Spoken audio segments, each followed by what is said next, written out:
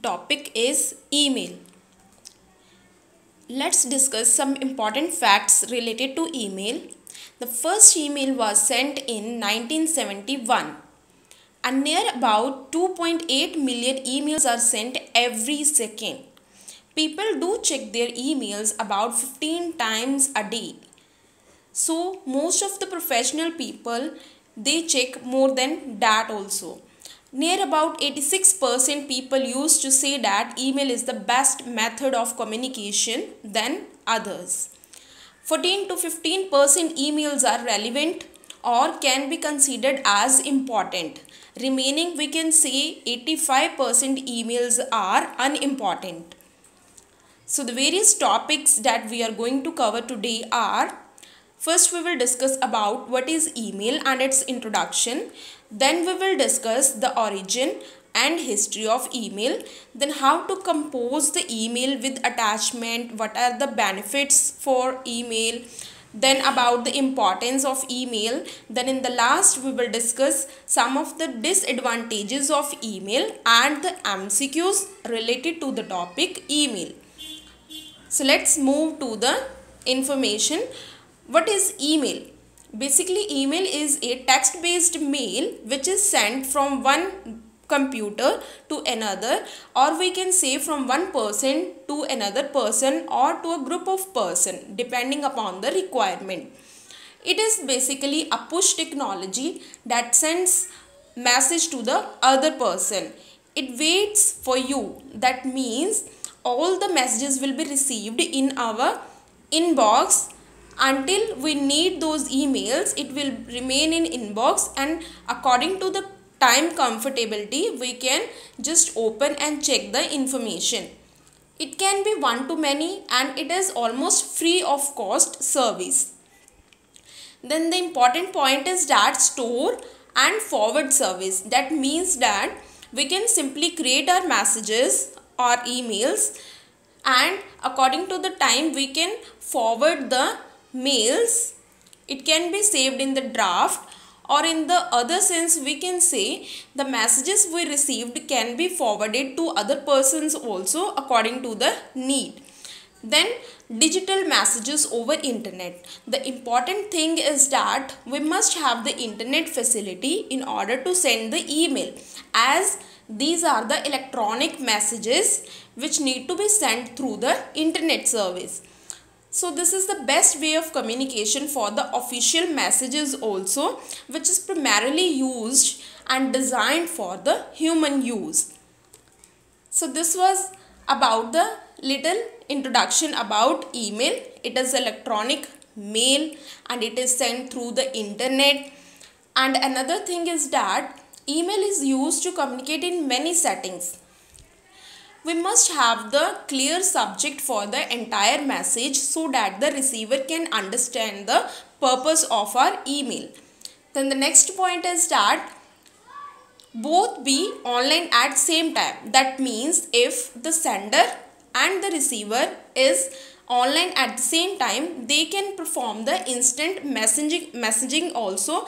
They can use the chatting service provided by the email providers email providers are like hotmail gmail yahoo. These all are email providers through which we can use the email service. Email systems are based upon the store and forward model. As we have discussed earlier there are certain email servers that accept forward deliver and store messages. So this is the basic working of email then the last point is very important point is that if the receiver is not online at the same time when he receives the message then he can later on check the messages it is not mandatory that he, he or she has to be online at the same time when the sender is sending the message to the receiver. So this was about the introduction we can say that it is very similar to the traditional mail system but the different thing is that it is performed electronically with the help of internet. So according to Merriam-Webster, a means or system for transmitting messages electronically is the email. So these are the definitions provided. according to the business dictionary the definition of email is almost instantaneous transfer of text voice video messages from one system to another typically over the internet. So this is the definition of email according to business dictionary. So if we talk about the origin of email, mailbox was first discovered in 1965 at Institute of Technology where there was a home directory in which various files were placed. It was called as SNDMSG. It was called as mailbox at that time. And with that was advancement in the technology. In 1971, then with again some advancements Finally, with the help of ARPANET, which is the Advanced Research Project Agency Network, the email came to existence.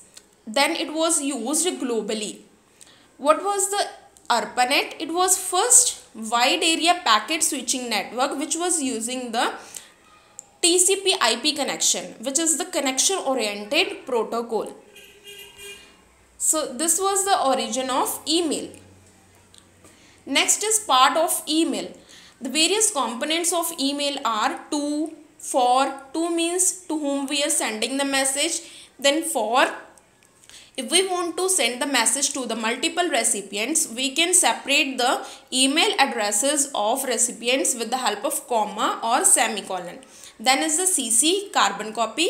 If we want to convey the same email to the third party also then we can keep the address of third party in the CC and if in case the third party need to be anonymous and then we can use the BCC that is blind carbon copy. The next point is subject. The subject is the topic of the entire message and the subject must be very clear. Then is the body.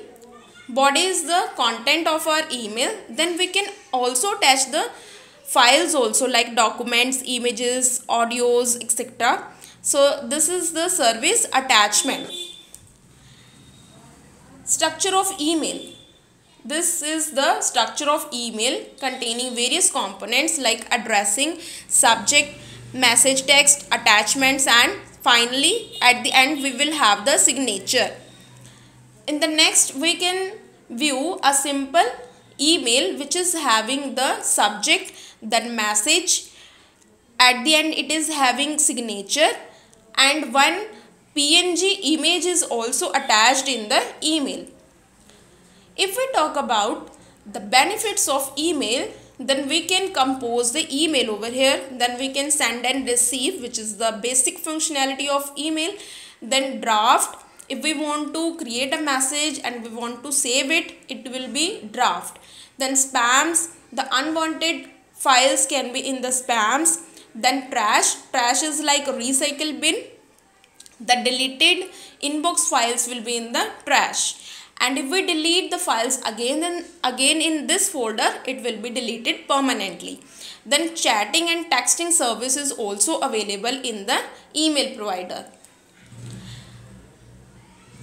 This is the working of email how the sender is sending the message to the recipient and how the mail client at the sender side is sending and recipient mail client at the receiver side is receiving the message with the help of any company network.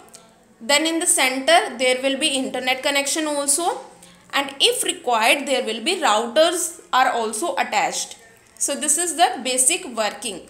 And the important thing is that the emails will be in queue. One by one they will be sent to the receiver and one by one it will be received at the receiver side. Next is advantages. It is very cheap. Then we can say it is very safe and secure for the professional messages. If the receiver is having the password of email he is the authorized person to whom we are sending the message and he can read the messages it is very easy to use also. Once we have configured the email, we can simply do all the functionalities related to the email. Then is fast. It is very fast way of communication within fractions of seconds the receiver will receive our message then it is global the messages will be sent over internet and it can be used in phone in systems laptops so these are the advantages. If we talk about the importance it says saves our money time instant response and revert back is there. It is regular communication and it can be viral too. We can promote our messages through email. No need to speak to recipient. We can simply send the message.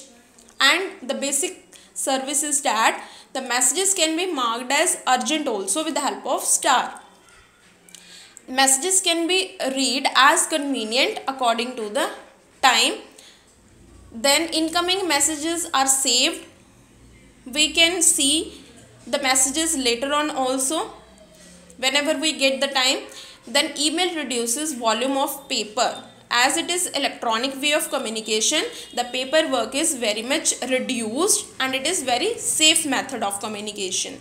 Then is disadvantages we can have the overload of messages also. Sometimes some companies use to promote them with the help of email. In that case it will be overloading of messages. Misdirection is possible. No response is there also.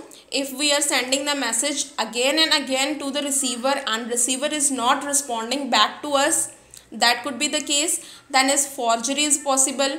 Convenience of email may result in flood of mail that is overloading it is possible that you may send email to an unintended recipient also then is spam junk emails are sometimes called as spams and these are basically undesirable emails that we receive so let's discuss some MCQs related to the email. The question is trash folder in email provider represents the dash. Choose the appropriate answer from the given below options. So the various options are given. What is the correct answer? Option number 3 is the correct answer. All deleted messages. So trash folder will have the all deleted messages which are deleted from inbox and if we want to delete the messages permanently then again we need to perform the delete operation in the trash folder also. Then the messages will be finally and permanently deleted. So this was all about email part 1 thank you